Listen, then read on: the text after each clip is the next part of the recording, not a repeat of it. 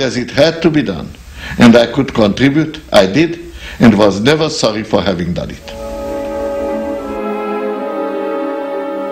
The uranium gun weapon, or little boy bomb, was a simple design, and scientists were confident it would work without testing. The Fat Man, or implosion bomb, was a more efficient design, using plutonium instead of uranium.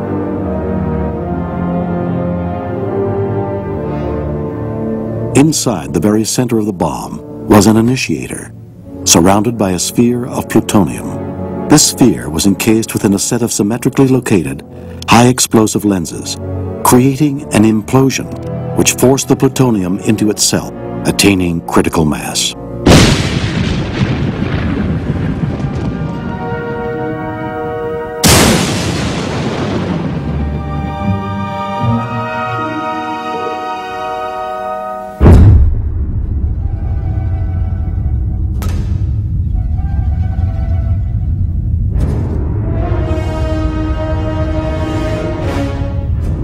Blast instantly raised temperatures to 10 million degrees, releasing a force of a million pounds of pressure, vaporizing the tower and all desert life within a half a mile. The intensity of light was sufficient to cause temporary blindness to an observer 10 miles away.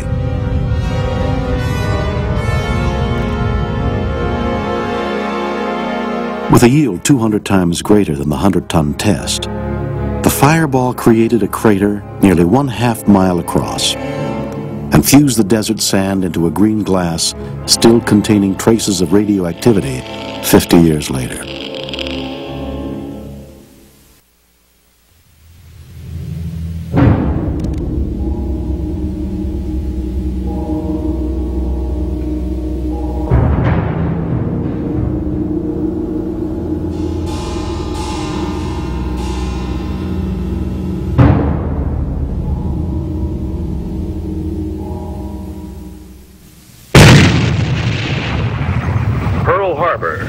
Plunged the United States into war.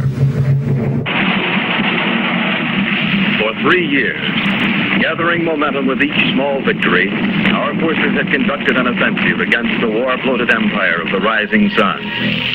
Slowly, island by island, mile by mile, and then with ever-quickening sweep, the combined land, sea, and air forces of the Allies drove against the borders of that empire, forcing it back until late in 1945, only the bastions of the Japanese home islands remained to be stormed.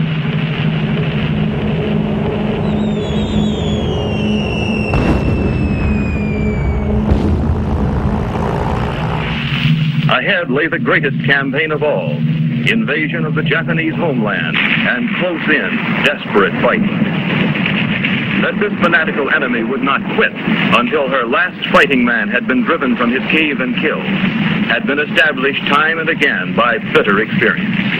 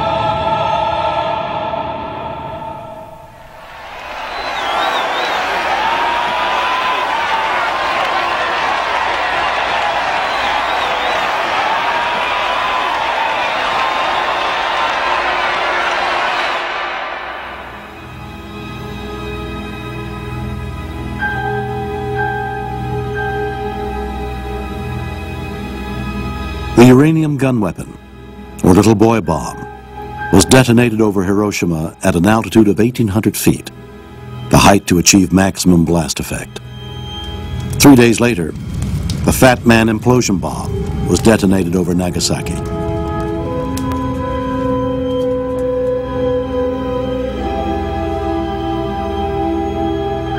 In Hiroshima, 70,000 people were killed or listed as missing. Of its 90,000 buildings, over 60,000 were demolished. The implosion bomb, dropped on Nagasaki, took the lives of 42,000 people and injured 40,000 more. It destroyed 39% of all the buildings in the city. With a yield of 20 kilotons, similar to that of Trinity, this weapon would be considered a nominal atomic bomb and provide a blueprint for all future nuclear weapons.